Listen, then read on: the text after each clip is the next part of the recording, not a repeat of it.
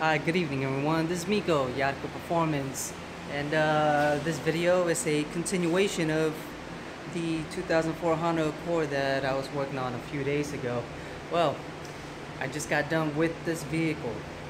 Alright, so basically the symptoms on this were is that uh, the D-light was flashing and it wasn't shifting out of first gear and what it had was a permanent code of a PO 471 so what we ended up doing is replacing the ECU the ignition with the key because you know it's got an immobilizer to it. And um, basically the first few times that we had everything else plugged in the key was getting stuck.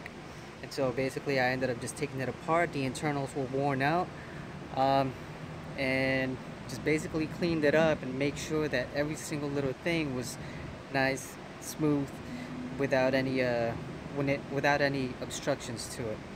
So now uh, actually you know what? Let me go over to the other side real quick. Yeah it is a little hot today. All right so I've already replaced that ECU right there. And I'm gonna be uh, bolting everything up buttoning everything up as soon as I'm done with this video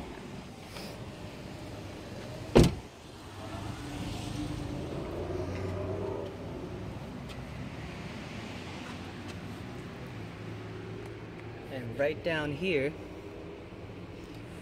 we've got the entire thing already replaced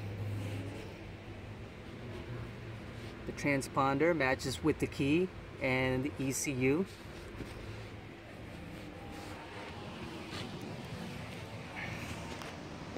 And unfortunately, when we had to go get this key and everything else, the matching key with it broke.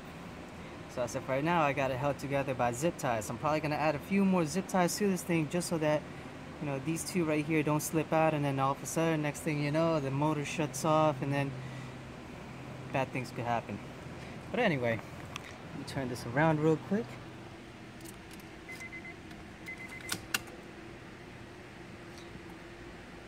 There you go, the green key light goes out, which means that it recognizes the key. And there you go.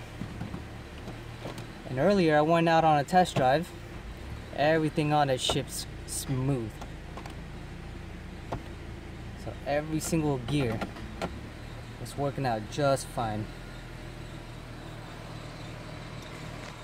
So, I'm going ahead and finish up the job. Button everything up. And that's pretty much it for this today's video.